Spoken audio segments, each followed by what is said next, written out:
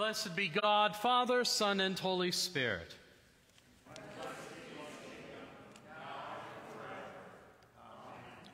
Almighty God, to you all hearts are open, all desires known, and from you no secrets are hid. Cleanse the thoughts of our hearts by the inspiration of your Holy Spirit, that we may perfectly love you and worthily magnify your holy name through Christ our Lord. Amen.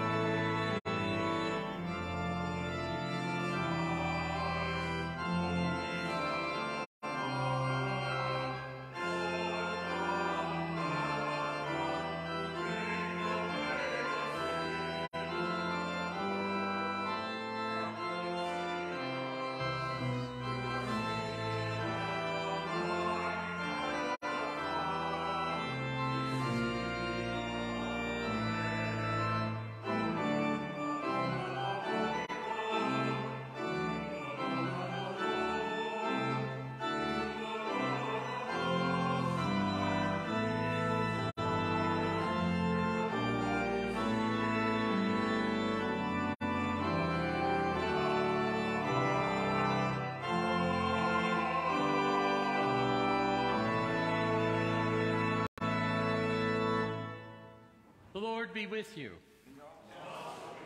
Let us pray. Grant us, O Lord, to trust in you with all our hearts. For as you always resist the proud who confide in their own strength, so you never forsake those who make their boast of your mercy. Through Jesus Christ our Lord, who lives and reigns with you in the Holy Spirit, one God, now and forever. Amen.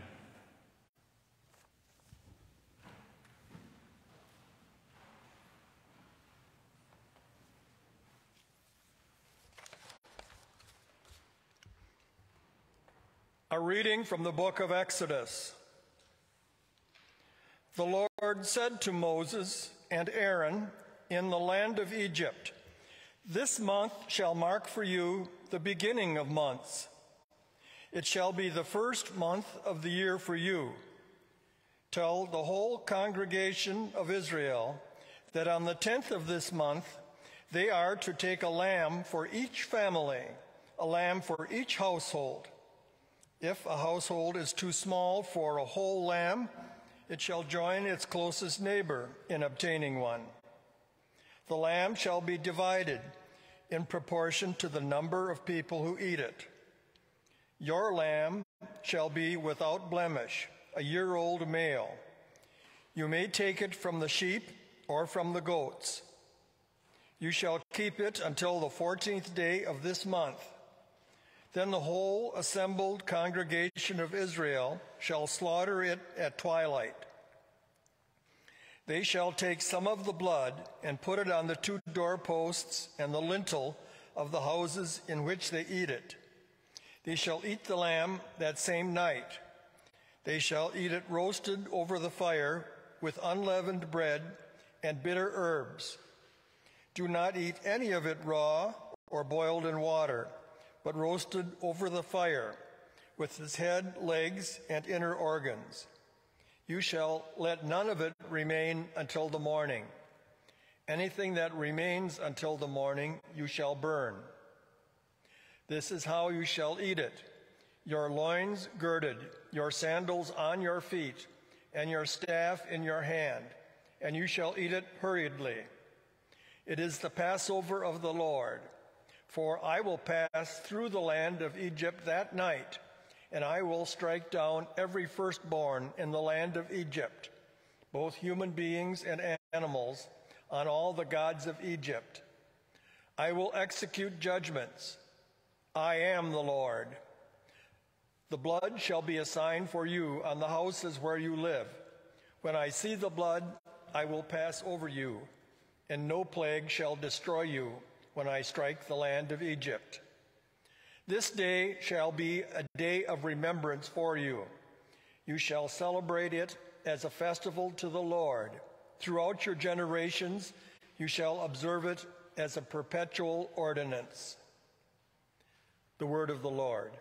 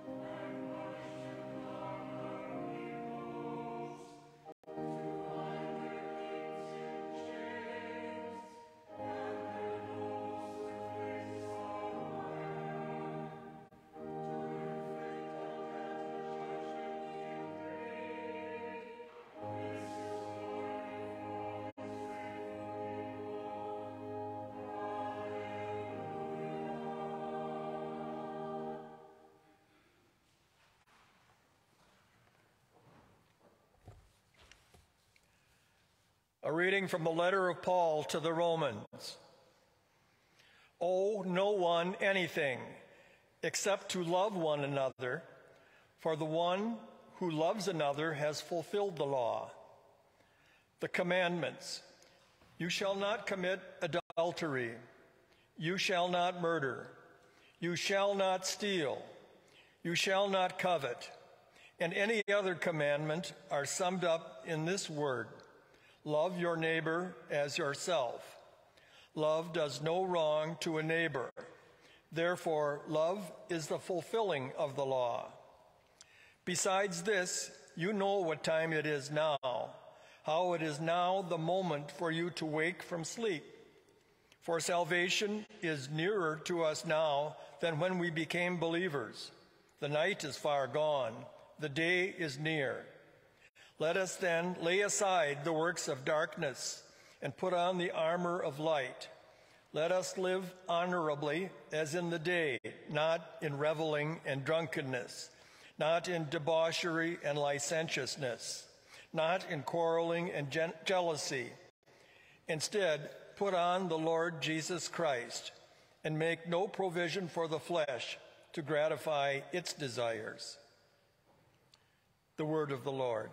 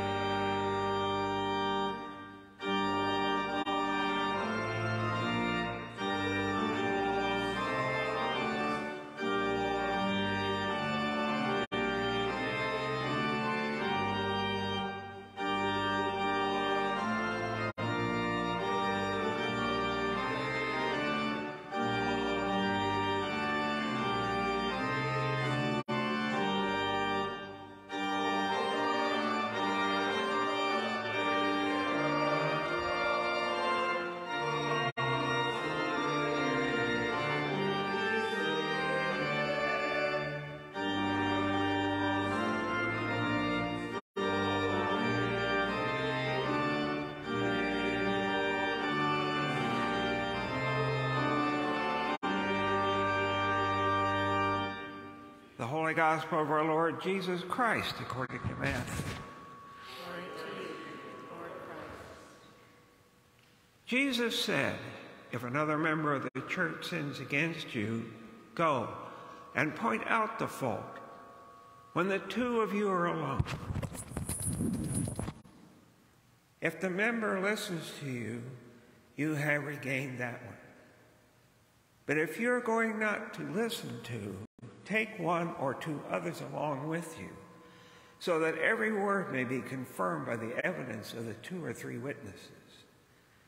If the member refuses to listen to them, tell it to the church. And if the offender refuses to listen even to the church, let such a one be to you as a Gentile and a tax collector. Truly I tell you, whatever you bind on earth will be bound in heaven, and whatever you loose on earth will be loosed in heaven. Again, truly I tell you, if two of you agree on earth about anything you ask, it will be done for you by my Father in heaven. For where two or three are gathered together in my name, I am there among them. The Gospel of the Lord.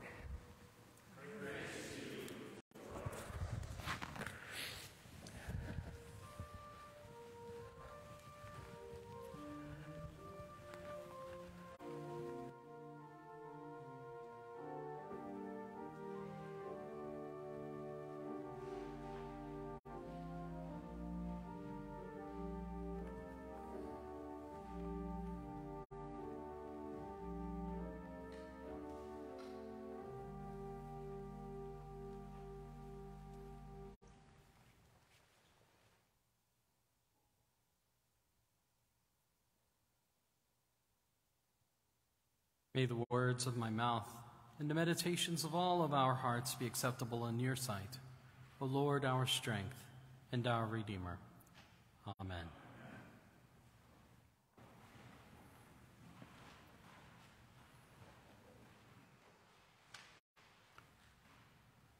Love does no wrong to a neighbor. Therefore, love is the fulfilling of the law. These words of St. Paul's about love are often viewed with a kind of sentimentality as we imagine a world not bound by multiplying lists of duties, promises, or legal guardrails, but simply by good intentions. Or we feel relief thinking, oh, so long as my motivations are right, my actions are covered, even if things fall flat. But I think that's a pretty limited view of what love is. When we consider our other readings this morning, I think we should be sobered. Exodus has the Israelites eating hastily and marking their doors with lamb's blood to prevent a real life or death judgment upon all the firstborn of Egypt.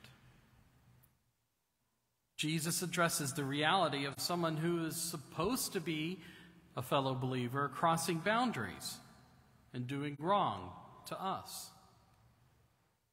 And the Apostle Paul feels the imminent coming of God's righteous judgment, hoping to spare the Christians in Rome from the fate he sees will befall those bound up in the most notorious of sins.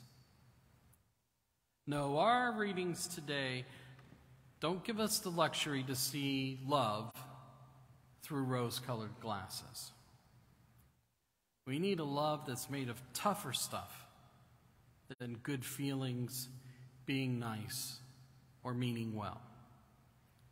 We need a love that recognizes that we need concrete action. Thoughts and prayers are nice, but if they don't produce real justice, real mercy, real forgiveness, real peace, real forbearance, we can't call it love.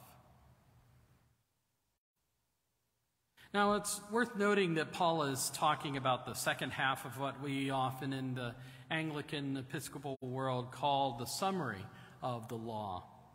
And this is where Jesus tells us that loving God with all of our heart, soul, mind, and strength, and loving our neighbors as ourselves are the two commandments on which hang all the law and the prophets. Liturgically, it has often been preceded by the confession of sin in most prayer books on those Sundays when the Decalogue, the, the Ten Commandments, weren't being used. It's only now in our 79 prayer book that it's become a little bit more occasional.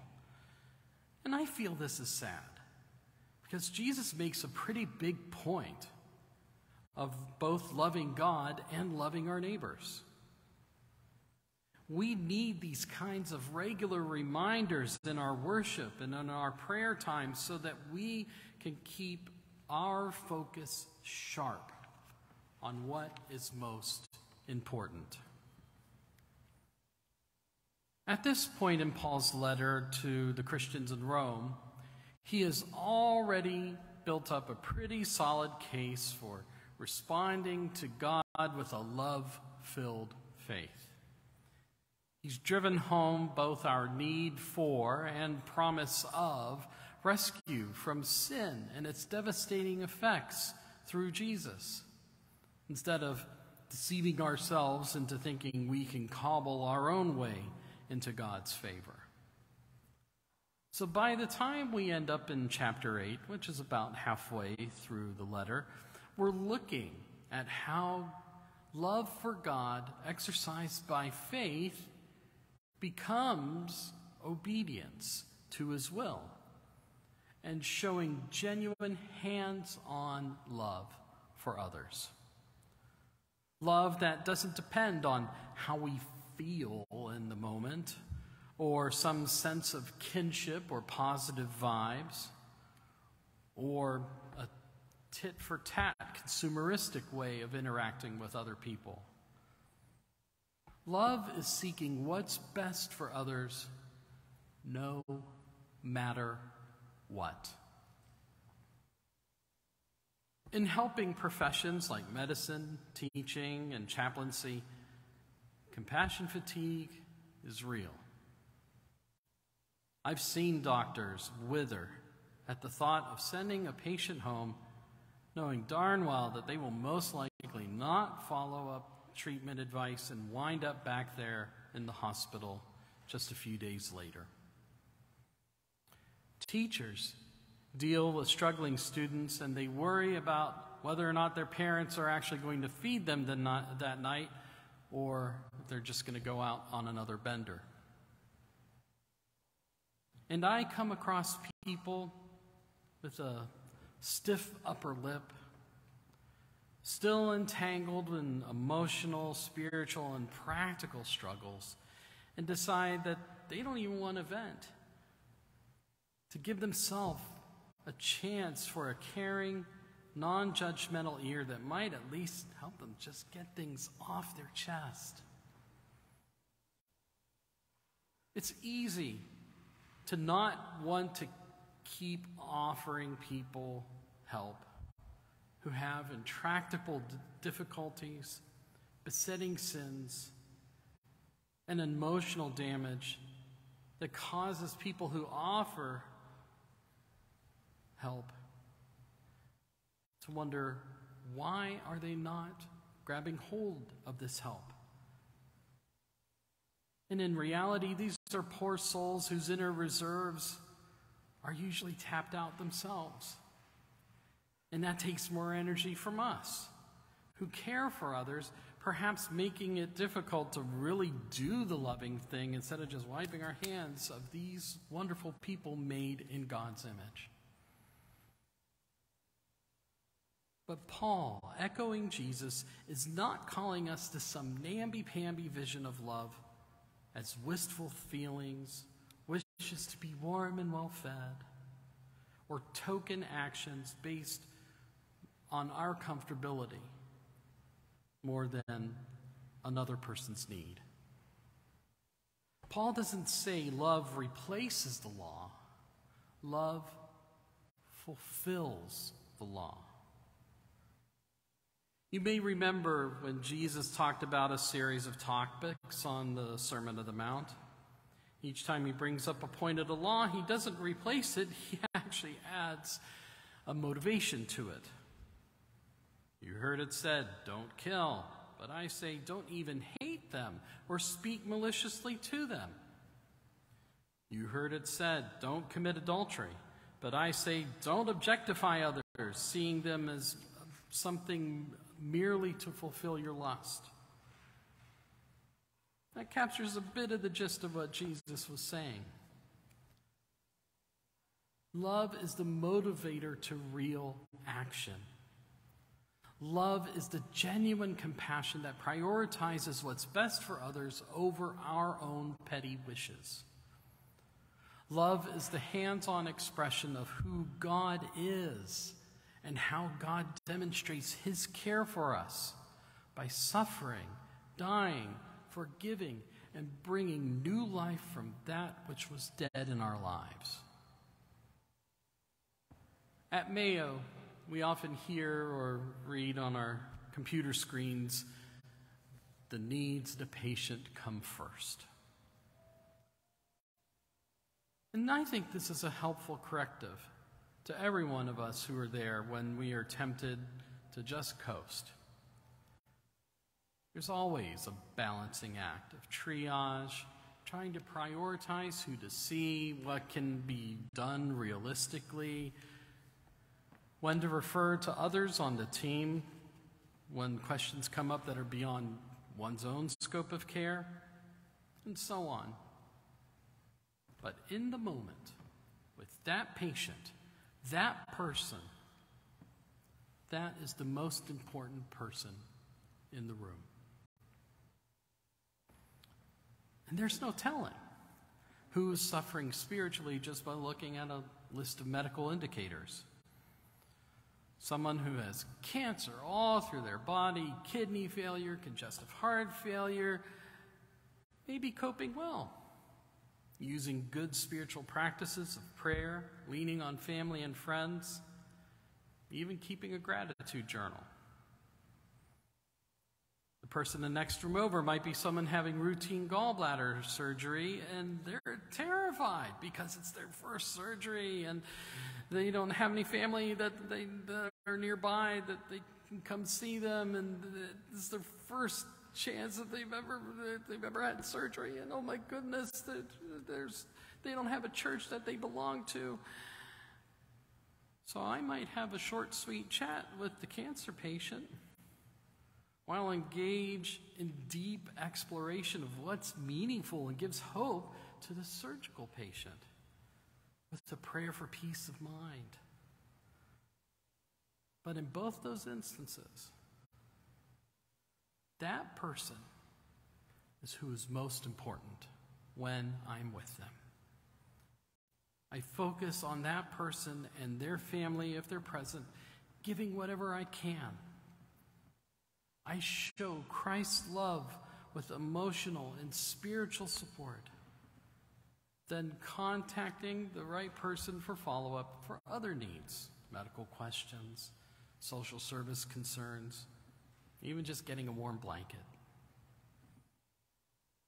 Love is going to look different for each of us and what we can actually do. So, what might love look like?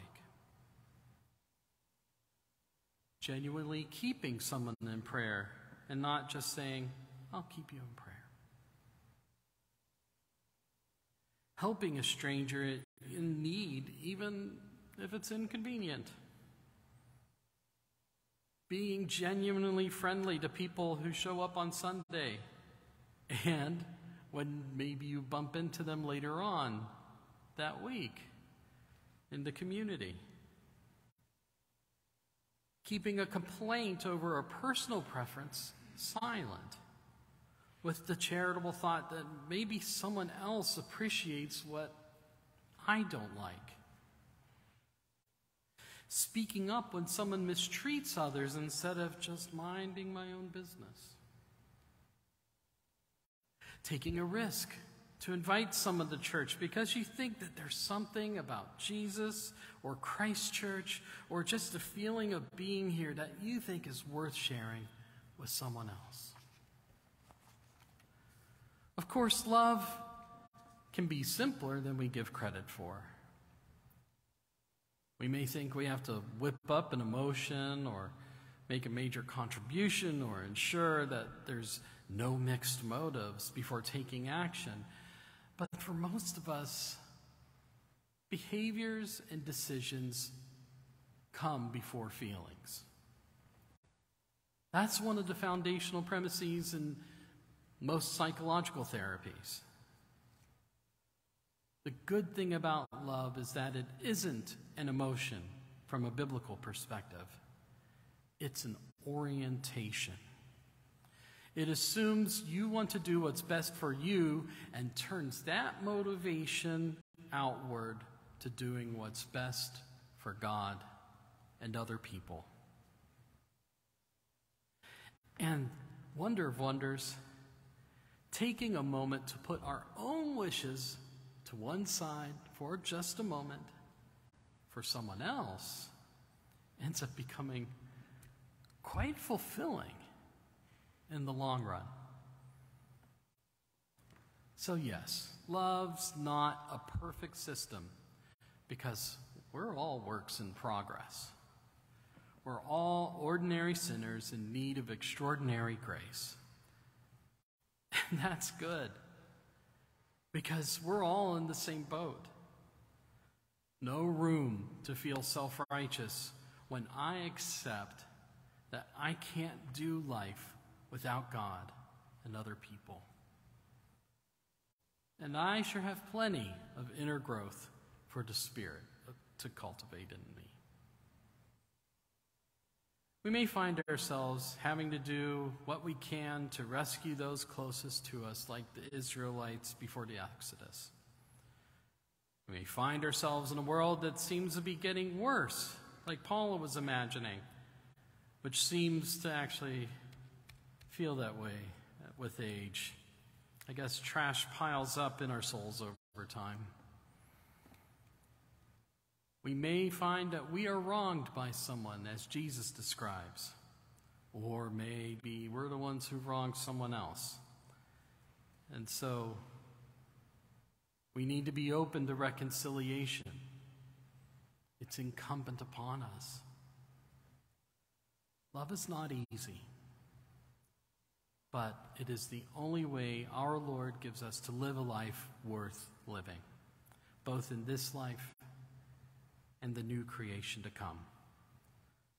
And when we love, we are tapping into the very essence of who God is, meaning that there's no limit to what love can do.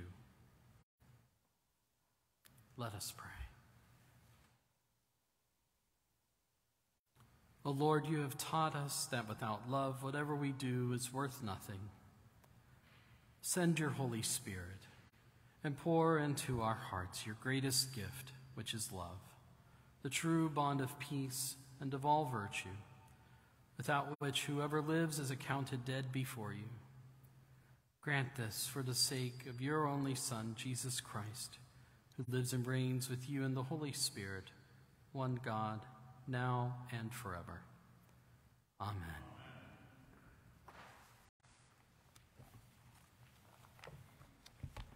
Let us stand and confess our faith in the words of the Nicene Creed.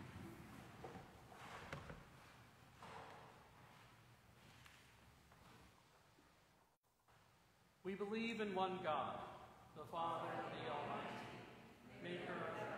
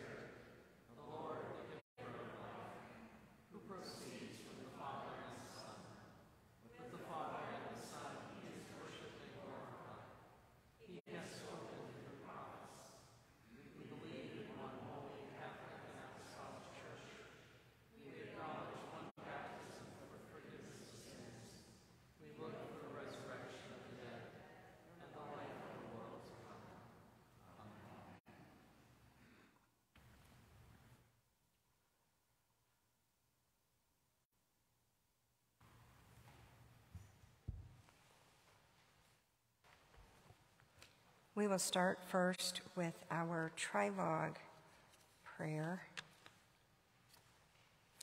Lord, it is your voice that calls each of us to play our part in the story of your church in Wisconsin. For you have made us for your purpose of revealing love in a challenging time in a divided world. As our three dioceses discern becoming one, continuing to seek your will for us, enlighten our hearts to know what things we ought to do, enlighten our minds to know what things we need to leave behind, enlighten our spirits to embrace a future none but you know. Give us peace, give us courage, give us hope, and give us perseverance to make the necessary steps to continue to follow your lead. Amen. Father, we pray for your holy Catholic Church. Grant that every member of the church may truly and humbly serve you, especially our parish families. Jane, Mary, Pat, Eric, Ricky, Matthew, Gavin and Emerson, and George and Cindy. And for those celebrating birthdays, especially Julian, Lucas, Naz, Nosy, Marcos, Abigail, Daniel, Vivian, Sibby, and the anniversary of Michelle and Andrew.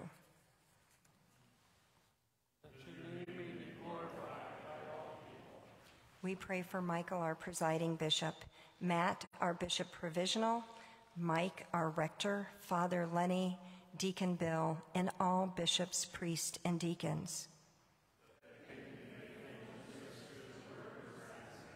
We pray for all who govern and hold authority in all the nations of the world.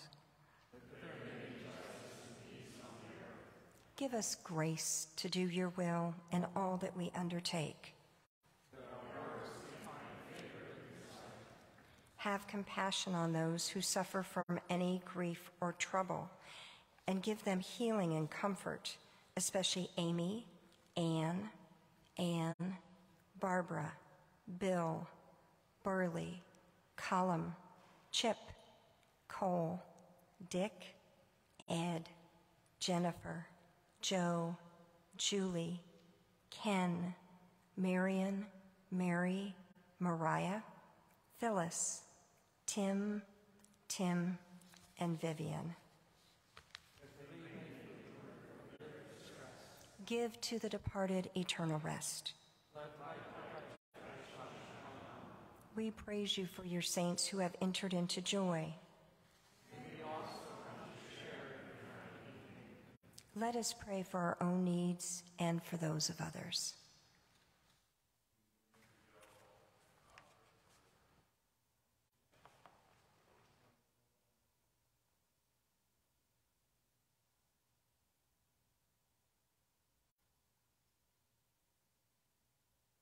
Lord, hear the prayers of your people and what we have asked faithfully.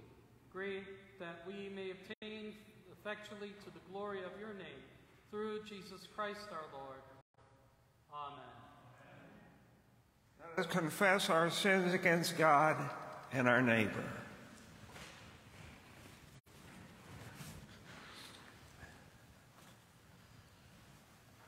Most merciful God, we confess that we have sinned against you in thought, word, and deed, by what we have done and by what we have left undone.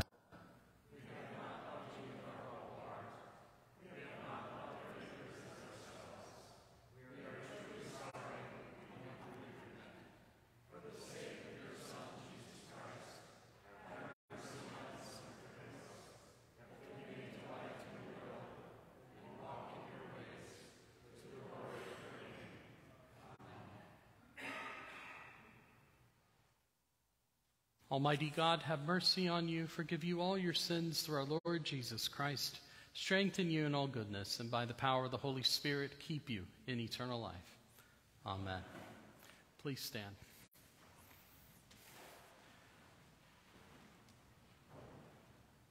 The peace of the Lord be always with you.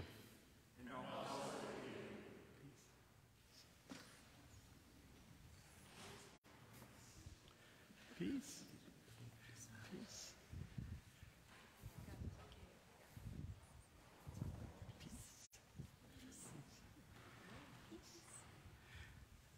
Do we have anyone celebrating any birthdays or anniversaries today?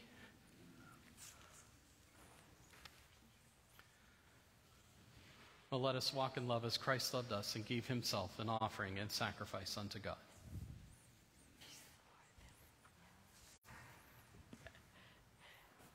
There's a change in the anthem, and I usually share the words so that people have a, a, a little better idea of the words we're singing. Sometimes they're hard to see, see hard to hear because we're back behind the, the altar there. It's this is uh, the changes. There's a sweet, sweet spirit in this place. I'll just read you the first words, the first verse, but I'll will uh, kind of give you a hint that there's a little bit of swing to this um, uh, to this tune, and if you don't understand the second verse or the third verse, you can be thinking about, you know, what are the what are the blessings of this place and your being here today. So, first verse will be, and then there's a chorus. There's a sweet, sweet spirit in this place, and I know that it's the spirit of the Lord. There are sweet expressions on each face, and I know they feel the presence of the Lord.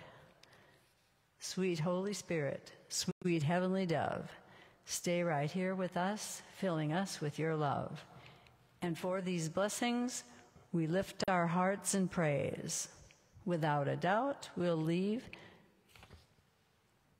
Without, without a doubt, we'll know that we have been revived when we leave this place. There's a sweet, sweet spirit in this place. Just a couple of quick announcements. Uh, one tomorrow is our first Monday back for Free Coffee Monday at uh, UWL. Uh, Mary, the new pastor for our campus ministry, was here last week. Couple folks had a chance to meet her. Uh, so, anyone uh, is welcome to stop for Free Coffee Monday uh, on 1334 Pine where we are right across from the Health Sciences uh, building every Monday morning from 8 to 10. Uh, it's great for us to meet students and be able to give this little bit of uh, love to them.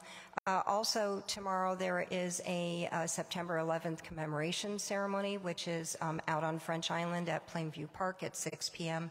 The public is welcome to join us. And lastly, uh, next week we'll start our first Sunday school uh, session for the teens and children. And uh, we are always looking for extra folks who are willing to be um, a second adult in a classroom. Every classroom needs to have two adults. You don't need to teach, but we need to have two adults to be able to comply with safeguarding God's children uh, protocols in our diocese. So thank you so much.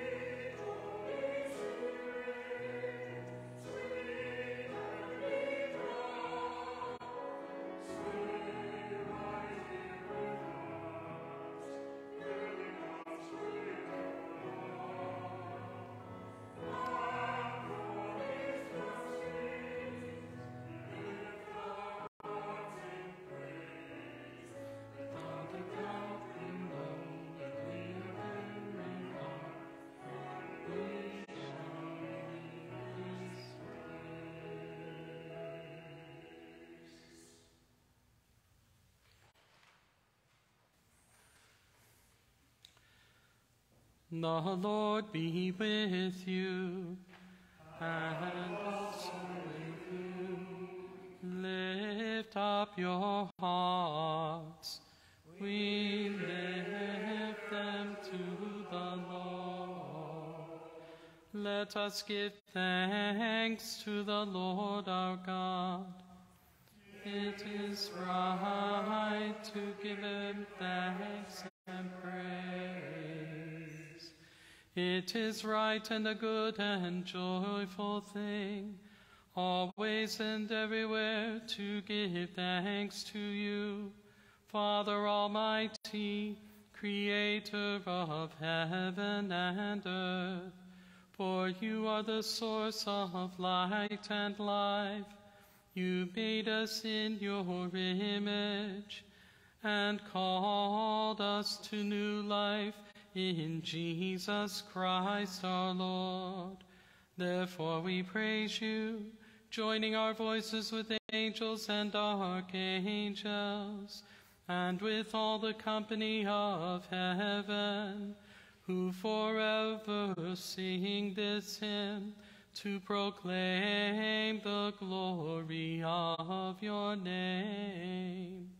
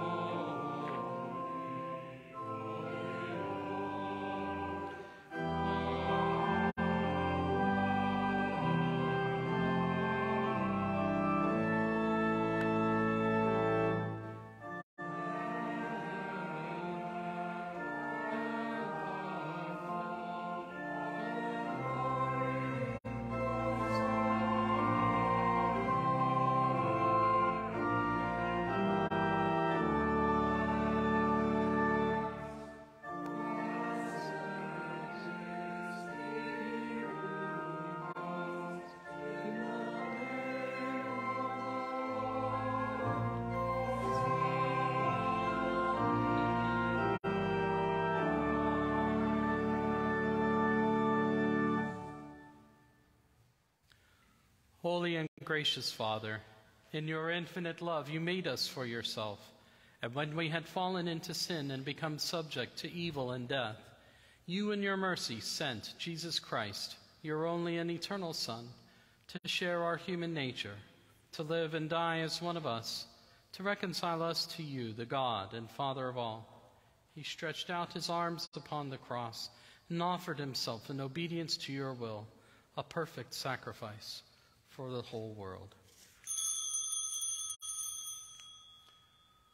On the night in which he was handed over to suffering and death, our Lord Jesus Christ took bread, and when he had given thanks to you, he broke it and gave it to his disciples, and said, Take, eat. This is my body, which is given for you. Do this for the remembrance of me.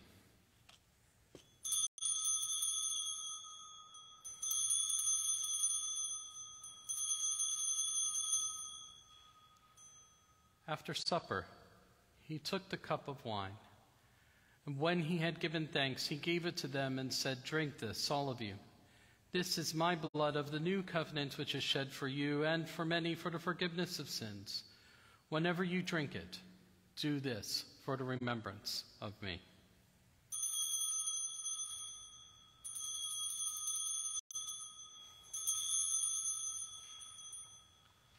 Therefore, we proclaim the mystery of faith.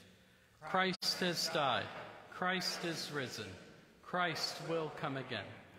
We celebrate the memorial of our redemption, O Father, in this sacrifice of praise and thanksgiving.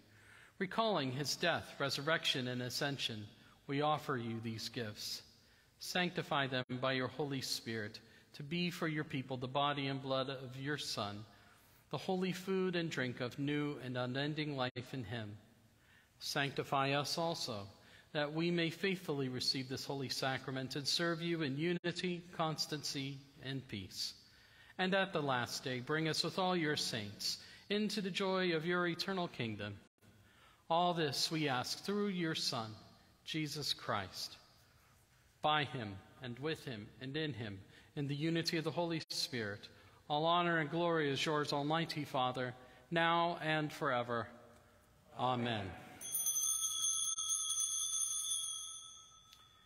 And now, as our Savior Christ has taught us, we are bold to say, Our Father, who art in heaven, hallowed be thy name. Thy kingdom come, thy will be done, on earth as it is in heaven. Give us this day our daily bread, and forgive us our trespasses, as we forgive those who trespass against us. And lead us not into temptation, but deliver us from evil. For thine is the kingdom, and the power, and the glory, forever and ever. Amen.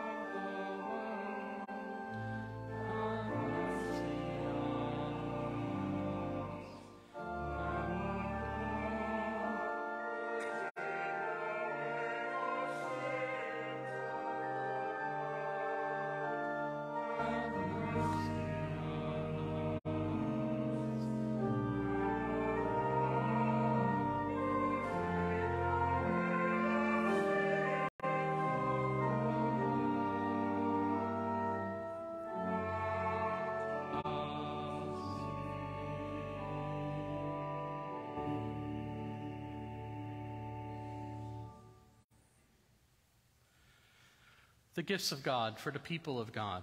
Take them in remembrance that Christ died for you and feed on him in your hearts by faith with thanksgiving.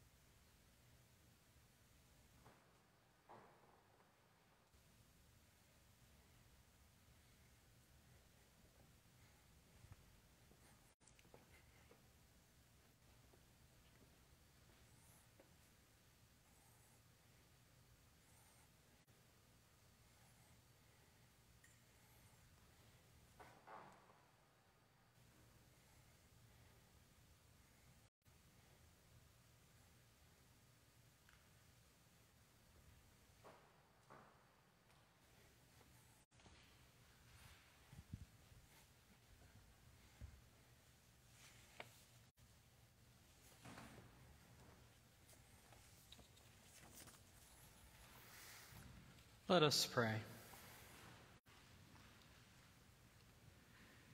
Eternal God, Heavenly Father, you have graciously accepted us as living members of your Son, our Savior, Jesus Christ.